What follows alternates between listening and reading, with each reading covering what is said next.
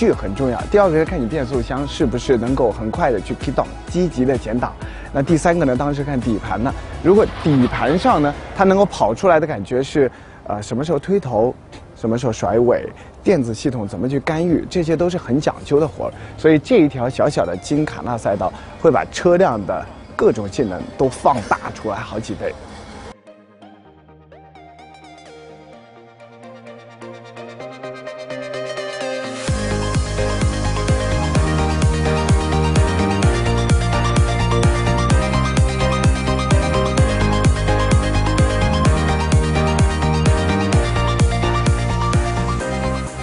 在这样的一条小赛道，动力是非常关键的，因为你每一次的提速都要扭矩来支撑，所以呢，这个时候扭矩会比功率来的更重要啊。两点零 T 的发动机，这个算这个级别里的大排量了，扭矩调到多少？三百八十七牛米。一般我们说两点零 T 的发动机交给合资品牌，一般就调到个三百二、三百四、三百五。像这样调到三百八十七牛米的扭矩，这个是非常罕见的。那这样的扭矩呢，其实比当年的一些三点五的 V 六自吸的发动机还要强那么一大截了。所以，我们看到这一台动力已经够强了。变速箱呢，已经做了一些程序的优化。还有一点呢，就是它有了一套 Launch Control，也就是弹射起步。以前只会出现在法拉利、迈凯伦、保时捷身上的。我们来现在看一下，左脚踩下。刹车，右脚把油门轰起来，然后这里就会出现弹射起步。一起来看看，大家听一下声音哈。弹射起步，激活，三二一，走！这是我最喜欢听到的声音了。整个动力就一直会过剩，然后让轮胎就带着一点点的这种尖叫的声音。其实，让这套轮胎就突破动力的极限呢，不仅仅是在起步的这个。你看，我们现在拐一个弯过来，听到了没？听到了没？其实要让这套轮胎去突破极限呢，不一定就是要在加速的时候，像我们刚才拐弯的时候，它也是突破极限的。为什么会这样去做呢？按道理来说，这个轮胎已经是二五五四五 R 二十一的尺寸了，二五五的轮胎，这已经是当年的宝马 M 三的那个宽度了。但是，当我们这样去做极限驾驶的时候，它依然会突破它自己的极限，所以说明这台车的调教呢，其实更偏向于像是一台轿车那样的调教了。所以整个操控的感觉、方向的精准性都是做得非常不错的。在 SUV 这个领域里面，这已经算得上是一个非常精准的转向和非常有忍耐力、有宽容度的一个底盘了。走你！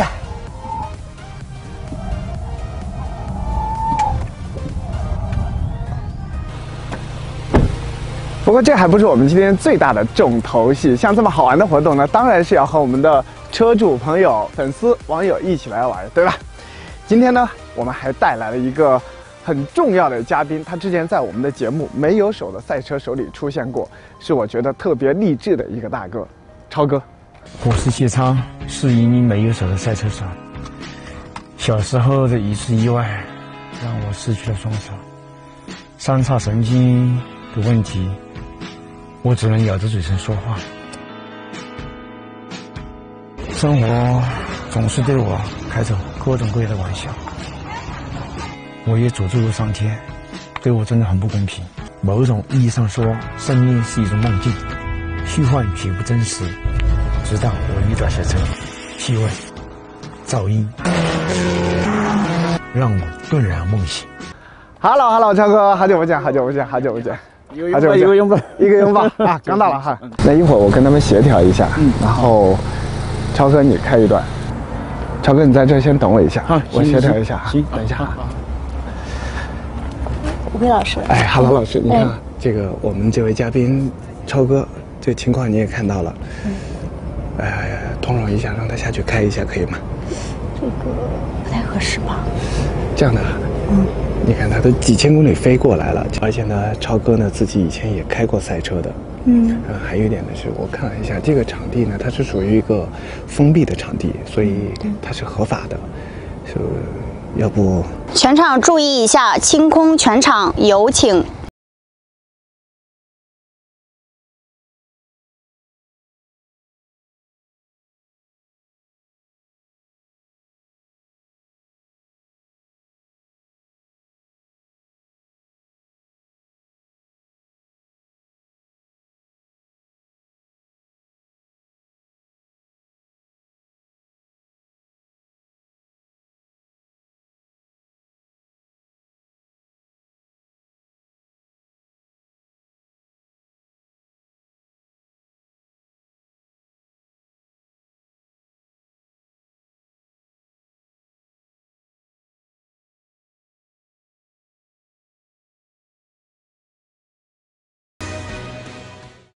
三十九秒，比我快啊！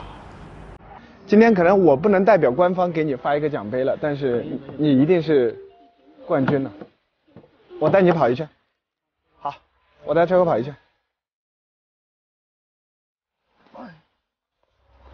手手怎么样？没事没事，我看没事没事，飞哥没事。哎呀哎呀，哎呀，没事没事。雪松，没事没事，一会儿给超哥拿两张那个纸巾。没事没事，飞哥。你不疼吗？这个？没事没事，啊忍着忍着没事。我，哎呀，没事，飞哥真的没事没事没事啊。行，你坐副驾，我带你一下。你过来讲一下哈，这个啊，我来我来我来。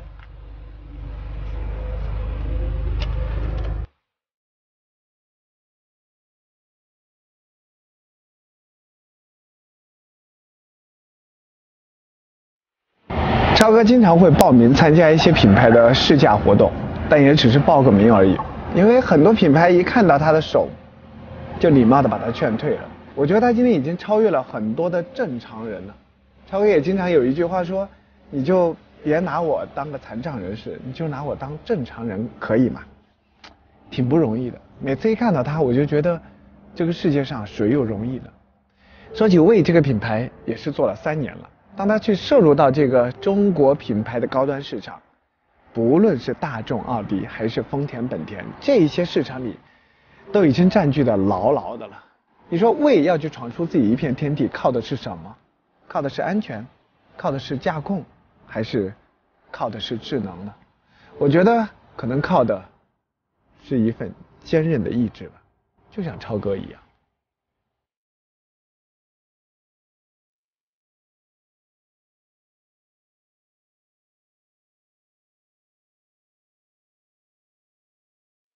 四年，魏从无到有。今天我见到了魏的车主们，他们年轻，他们崇尚时尚，他们热爱操控，他们对高科技充满好奇。他们中的每一个都和谢超一样，不屈不挠，不服输。四年，我们看到了这样的魏，那未来呢？我们会看到一个什么样的魏？拭目以待。